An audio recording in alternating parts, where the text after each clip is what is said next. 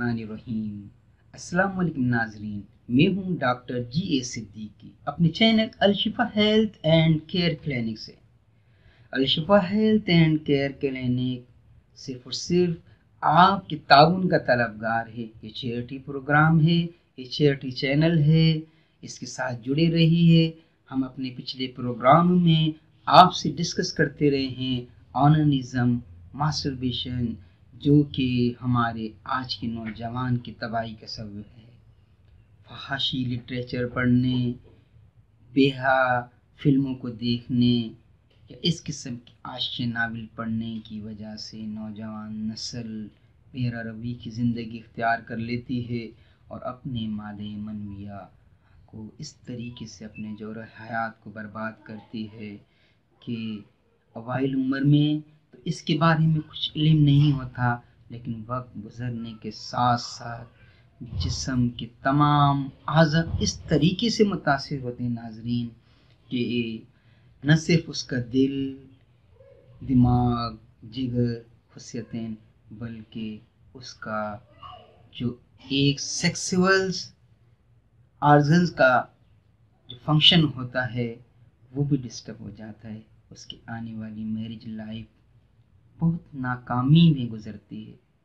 لیکن ہم آپ کے ساتھ وعدہ کر چکے ہیں کہ ہم اپنے چینل کے توسط سے ایسے تمام مریضوں کا شافی علاج کریں گے۔ اپنی clinic Alshifa health care care clinic میں ہم ایسے تمام مریضوں کا علاج کر چکے ہیں جو اس کی تباہ کاریوں میں مبتلا تھے۔ تو آئیے ناظرین، اپنے پروگرام کے تسلسل کو قائم رکھتے ہوئے آج ہم وائٹرس آرگن کے تیسرے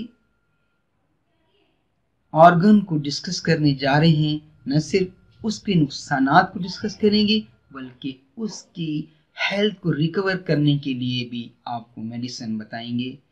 وہ آرگن ہے جگر، لیور جی ہاں ناظرین۔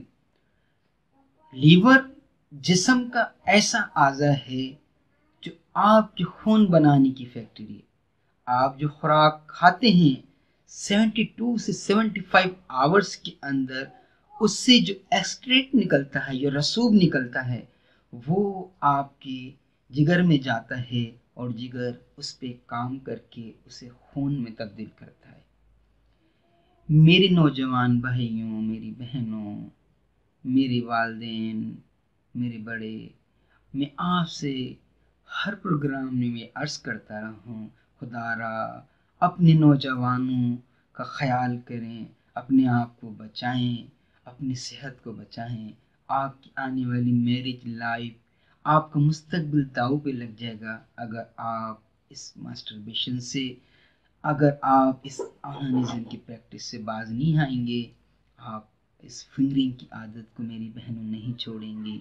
آپ آنے والے وقت میں اس کا ایسا خمیازہ اٹھائیں گے کہ پھر آپ خود کشی بھی کرنا چاہیں تو زندہ درگور بھی ہو جانا چاہیں تو یہ ریکور نہیں کر سکیں گے۔ اس لیے آج اس بری عادت کو چھوڑ دیں اور توبہ کریں اللہ سے۔ اپنے مذاہب کے مطابق عبادت کریں۔ اور اس چیز کو میں برابر کرا دوں اگر آپ اپنی اپنی ولنگ پاور کو استعمال کریں گے، اپنی قوت ارادی کو مضبوط کریں گے، تو آپ اس سے بہت جلد چھٹکارا حاصل کر لیں گے۔ آئیے ناظرین، لیور کو اس سے کیا نقصان پہنچا ہے لیور کیونکہ خون بناتا ہے اور خون بنانے کے لیے اس سے اچھی خوراک کی ضرورت ہوتی ہے۔ اچھی خوراک جب اچھی طریقے سے ہضم ہوتی ہے، تو ایسٹریٹ یا رسوب جو جگر میں جاتا ہے، وہ اسے خون میں تبدیل کرتا ہے۔ لیکن بار بار کی اس ہینڈ پریکٹس کی وجہ سے، اس فنگرنگ کی وجہ سے، اس سے ضرورت سے زیادہ کام کرنا پڑتا ہے۔ اس لیے اس کی کارکردگی متاثر ہو جاتی ہے، وہ ویک پڑ جاتا ہے۔ پھر ہوتا ہے کیا ہے، جسم میں خون کی کمی ہو جاتی ہے، ناظرین۔ جسم اتنا زیادہ ویک ہو جاتا ہے، آپ کا چہرہ پیلا ہو جاتا ہے، جگر میں گرمی ہو جاتی ہے، پیشاب جل کے آنے لگتا ہے۔ میدے کا فنکشن خراب ہو جاتا ہے، کبھی کانسٹیپیشن تو کبھی لوز موشن تو میری بہنوں، میرے بھائیوں، یہ صرف کس کی تباہ کاری ہیں وہی آننزم وہی ماسٹربیشن وہی گریشی ہے جو آج کو آپ کو اتنا نقصان پہنچا رہی ہے۔ چھوڑ دیں اس بری عادت کو، آج اڈاپٹ کیجیے۔ ہیلتھی لائف ایکسرسائز کیجیے اپنے آپ کو متوانہ رکھنے کے لیے، اپنے ذہن کو فریش رکھیے، اچھی ایکٹیویٹیز کے اندر تعمیری ایکٹیویٹیز میں ٹائم لگائیے، اچھی کتابیں پڑھیے، اپنے مذاہب کے مطابق عبادت کریں، آپ جلد سے جلد ریکور کر لیں گے۔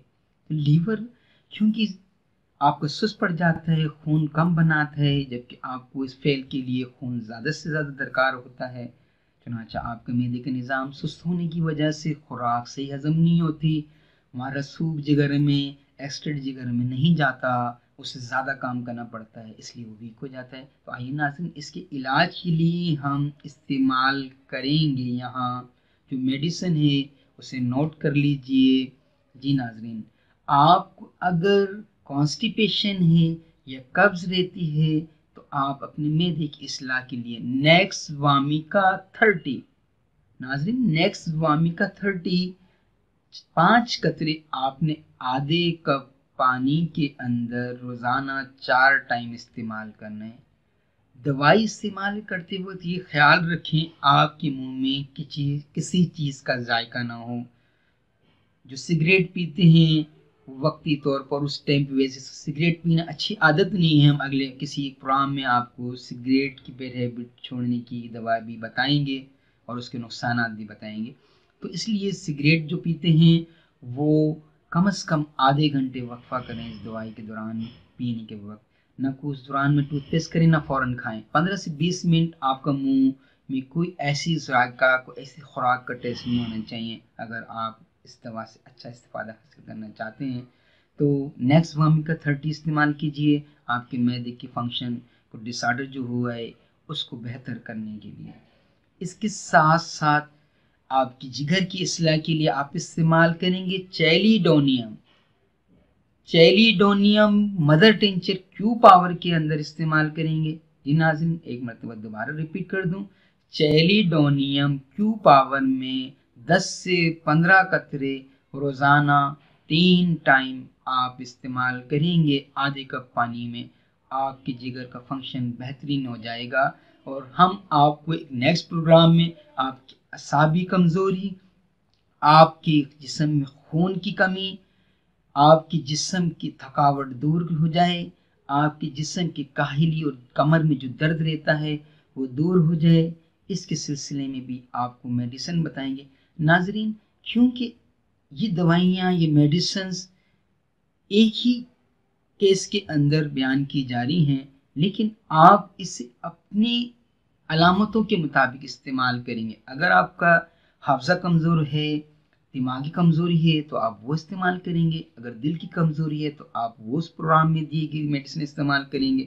اگر آپ کا میدے کا فنکشن ڈس آرڈر ہے، تو آپ اس پروگرام میں دی گئی میڈیسن استعمال کریں گے۔ ناظرین، جن شخص کو یا جن لوگوں کو کانسٹیپیشن رہتا ہے، وہ اس کے ساتھ ساتھ دیسی طریقہ علاج کے مطابق اسپغول کا چھلکا کھانے سے پہلے ایک چائے کا چمچہ، ایک ٹی اسپون پانی میں فوراً حل کر کے استعمال کریں۔ یعنی تین چمچے روزانہ اگر وہ اسپغول کا چھلکا استعمال کریں گے تو انہیں کانسٹیپیشن نہیں ہوگا۔